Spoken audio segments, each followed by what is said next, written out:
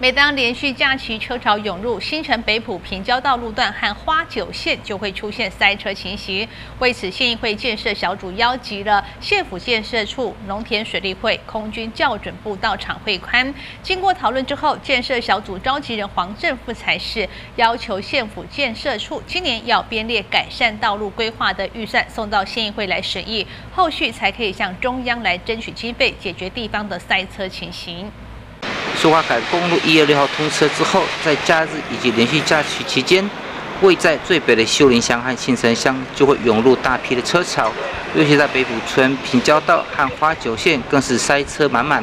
为了改善该路段的塞车情况，关县会建设小组，并且邀请县府建设处、新城乡公所、农田水利会、空军校准部前往现场会勘。新秀地区的县议员邱光明和郑宝秀则是说明长期以来的问题所在。我们这次议会建设小组下乡考察，最主要就是说我们北埔平交道非常的这个流量车辆流量非常频繁，那我们建议县政府能够编预算来评先评估来做铁路高架，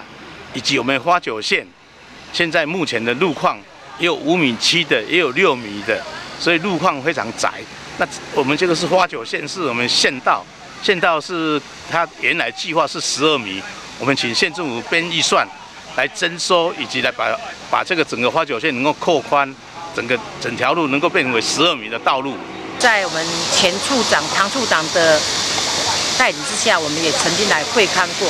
连这次已经来好几次了。我希望哦，县府这边能够做一个好的评估、好的计划出来，让我们行车安全不会看路。花九线部分呐，至于花九线部分，因为它是一边是国防军事用地嘛。将近有五六公里的这个围墙，我在想，希望，呃，当然是希望道路拓宽，因为那一条道路现在就是因为没有红绿灯的关系，所以，呃，知道的人，外县市人比较少，都走这一条路。但是也因为可能有比较小一点，那我希望能够在我们这个大围墙下面的那个，呃，栾树能够去除掉，然后让暂时性让马路。宽松一点，然后让行车能够更安全。经过建设小组同仁们、新城乡的合力台、先演出光明、郑宝秀、叠布市一带刘元富和县府讨论之后，建设小组召集人黄政府，并且才是要求县府建设处编列改善规划预算，送到大会来进行审议。所以你们接下来就办追加预算，然后花一笔钱，好，花一笔钱评估你刚才讲的铁公路，高架，有有铁公路的地下跟高架，然后还有铁路的这样子的方案嘛，哈，你这个要编经费，那我们下一次最近的会期会要看到你们有编经费进来，好不好？预算编辑，我不要你这个自己自己在办公室演你那种东西，不可行性评估，我演你太准呢。你，我要我要看到花钱的那个评估报告，是，好，那我也要看到你预算哦，哦，我要看到你预算了。今天乡长何立台表示，他在担任新运的时候，他也一直反映迟迟没有下文，现在担任乡长了，终于在今天有好的开始。